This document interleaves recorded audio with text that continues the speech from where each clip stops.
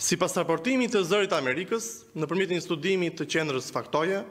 ekziston një mungesë e theksuar transparence në lidhje me procesin e rindërtimit dhe jo vetëm, në shumë bashki të vendit. Studimi, që kishte për bazë bashkitë Durrës, Vorë, Lezhë, Dibër, Rrogozhinë, Lushnje, Shijak, Krujë dhe Kurbin,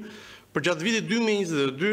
nxori në pah që shtatëdhjetë e pesë për qind e premtimeve të dhëna nuk janë realizuar. Sipas këtij studimi, mungonin elementët thelbësorë të transparencës, siç janë, për shembull, publikimi i vendimeve nga kryetarët e bashkive,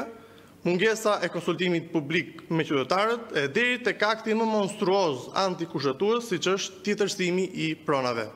Çdo ditë e më shumë, faktet, dhe jo akuzat boshe, tregojnë ashiqare që ka abuzime të rënda me pushtetin kudo,